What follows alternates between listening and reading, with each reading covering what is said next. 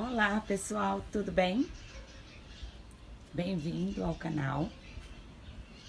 Eu sou a Mônica e hoje estou aqui no meu, no meu jardim mais uma vez para mostrar não todas as plantas, mas especialmente as plantas de tons escuros. Tá bom? Quem quiser ver as plantinhas, deixa um curtir se inscreve no canal para ver novos vídeos. Então, bora ver. Então é isso, pessoal. Hoje um vídeo para mostrar as minhas suculentas aqui do jardim de casa de tons escuros.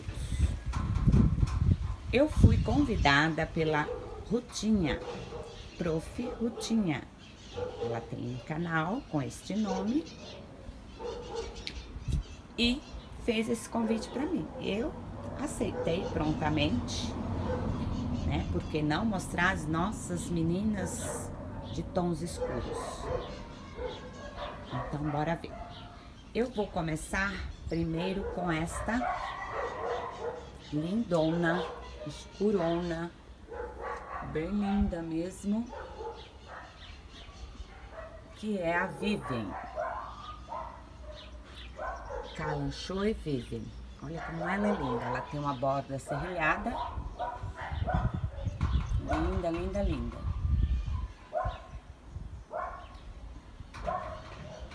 Cresce bastante, ó. O vaso já está pequeno para ela, se for ver bem, né? Mas está bonita. É bom que daí ela estressa, né? O vaso pequeno dá uma estressadinha nelas. Aqui nesse mesmo cantinho, eu tenho a Crassula yananense. Eita, nominho. Olha que bonitinha ela. Linda, linda, linda. Ela é peludinha. É um verde bem escuro. Bem bonita. Tenho também aqui pertinho essa peperômia. Uh, quando editar, eu coloco o nome no vídeo, tá bom, pessoal? Fugiu agora. Essa peperômia é linda.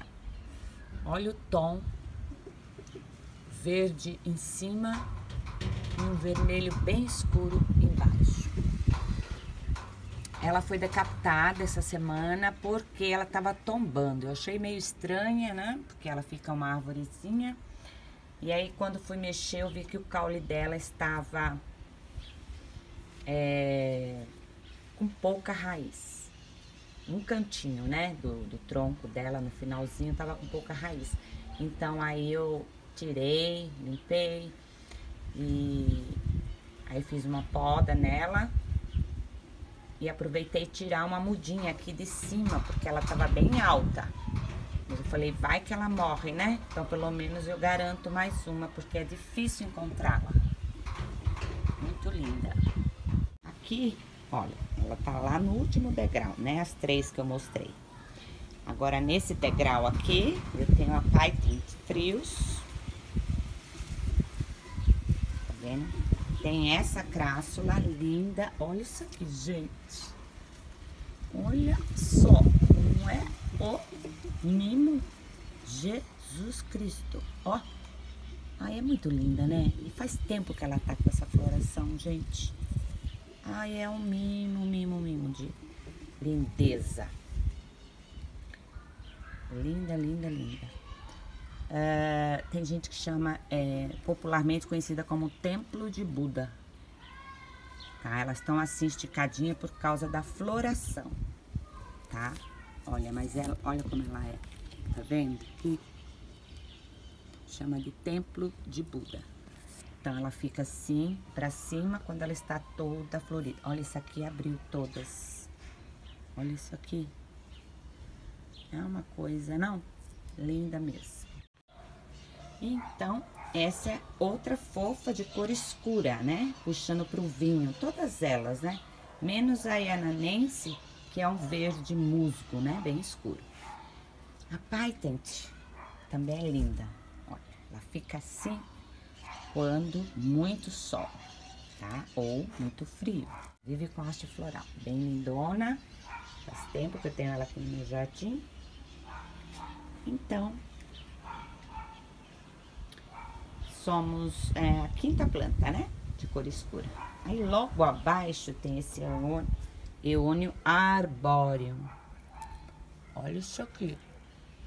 Lindo, lindo, lindo, lindo. Negro praticamente, né? De tão escuro. Gente, não repare na minha mão que eu tava fazendo replante, tá? Aí já aproveitei para fazer o vídeo a convite da colega. Não é linda? Aqui eu quero colocar mais uma, ficar três ou deixar uma só. Eu acho meio esquisito assim, sabe? Mas, por enquanto elas vão ficar aí, porque eu não tenho vaso para separar. Então aqui, ó, terceiro degrau. E aqui um quarto que eu fiz, tenho este arranjo que eu fiz recentemente. Inclusive, ó, dei uma queimadinha, já sentiu, porque ela tava do outro lado, no cantinho 1 um do meu jardim. E não tinha como fazer uma adaptação diferente. Então, ela teve que dar uma queimadinha, sentiu bastante essa daqui. Essa daqui já tava, eu troquei de vaso, né? Então, voltando a de cor escura, essa é a serrana, que também sentiu, ó. Deu uma queimadinha aqui. Ela é linda, né? Muito linda, folhas fininhas. Por enquanto eu não posso falar muito do cultivo dela, porque ela é nova aqui no jardim. Mas vamos torcer que corra tudo bem. Então, esta é uma outra de cor escura, Revéria serrana. Tenho esse eônio, outro lindo. Esse tem a folha mais larga que aquele. E olha como é que ele brota, gente. Tá sendo tratado. Ele tava com um pouco de cochonilha. E não sei se foi por causa das chuvas, né? Seca folha muito fácil, gente. Tá? Então, aí eu mudei. Ele tava também no canto 1, onde bate o sol quente da tarde. A partir da 1, um sol muito forte. E eu tenho pra mim que os eônios preferem um uma meia sombra, né? Ele é lindo, lindo, lindo. Ele, é, ele dá um tronco, ó. Vai saindo os bracinhos. Tô aplicando veneno para matar cochonilha, vendo se ela, se ele se restabelece. Espero que não seja nada na raiz, né? Mas já tá melhorando aqui por essa roseta aqui. Essa tá bem fechadinha, né? Então, ele é um lindão. Tá num vaso bem grande. Ó, pertinho com a cante.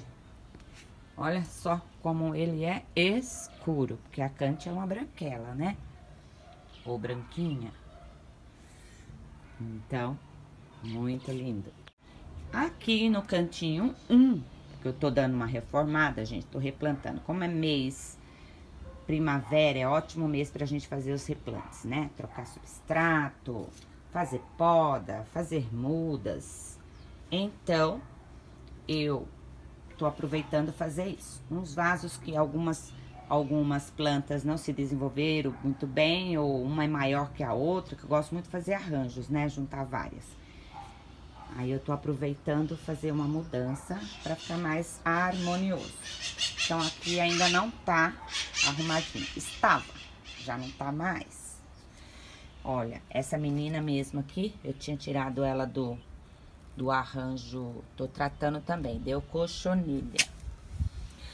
Essa é a Blue Sky, maravilhosa, né? Tava linda, linda, olhando, eu comecei a ver umas folhinhas feias.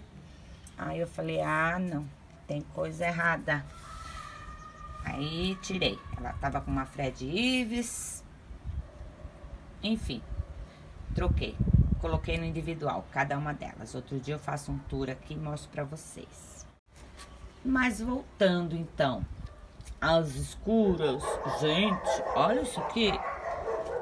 Não sei quem, quem me acompanha, lembra que eu tinha plantado essa marrogane junto com uma híbrida e mais uma a rúbela. A rúbula estava sumida, né? Por conta do tamanho dessa lindona. Então, o que eu fiz? É, e tava pescoçuda, as duas, essa e a híbrida. Aí eu decapitei. Ela está aqui somente para eu mostrar para vocês, mas ela não vai ficar aqui, tá? Já faz uns cinco dias que eu decapitei ela, então ainda não tá com raiz, mas eu já deixei no vasinho já. Quando eu perceber que ela já tá é, ficando mais bonitinha, firminha, então é sinal de que já está enraizando. Ela é uma lindona. Mahogany. Eita. Depois aqui, olhando aqui em cima, o mais de tom mais escuro, né? Olhando nesse painel aqui, vertical, eu vou, vocês vão ver apenas o rubro tictum, cedo rubro tictum. Deixa eu dar uma ampliada, olha. Então, ele fica um verde bem escuro com vermelho, lindo. Não é? Então, esta é mais uma das meninas de tons escuro.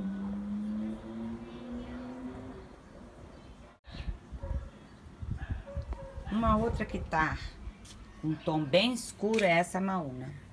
Ela não está no seu auge de boniteza, gente, porque ela foi decapitada há bastante tempo, já tá com raiz. Então, ela estressou, tá? Estressou, tá, secou, porque ela começou a usar as folhas de baixo, né, para sobrevivência dela. E poder emitir as raízes. Então, nesse cantinho aqui, tem uma mauna. É a mauna brasileira. Não é a que eles chamam de verdadeira. Mas é muito linda, né? Então, mais uma de tom bem escuro. E tenho essa lindona da Romeu, gente. Foi plantada recentemente. É uma gavoide. Nada de muita água nessa menina, hein? Na suculenta, de modo geral, já não é. Mas essa é menos ainda. Então, pessoal, muito cuidado. Mas olha esse tom perto dessa verde lipstick. Olha só. Que linda. E aqui neste cantinho, as de tom mais escuro são essas duas, né? A Fred Ives, linda, olha. Tá no vaso só pra ela agora. Linda, linda, linda, linda. Olha isso aqui, gente. Vou tirar uma foto disso aqui. Ai, muito lindo, né? Essa variação de cores. Um lilás, um alaranjado, muito lindo. Então, essa é mais escura. Depois temos aqui a melaco. Melaco, de tom mais escuro. Olha que linda. Show, né? Tá uma arvoretinha também, ela, ó. Da floração, haste floral direto, gente. Direto, direto. Muito linda. Então, eu encerro este vídeo agradecendo a professora Rutinha, prof. Rutinha, que fez esse convite bem legal. E um grande abraço a todos e tchau, tchau.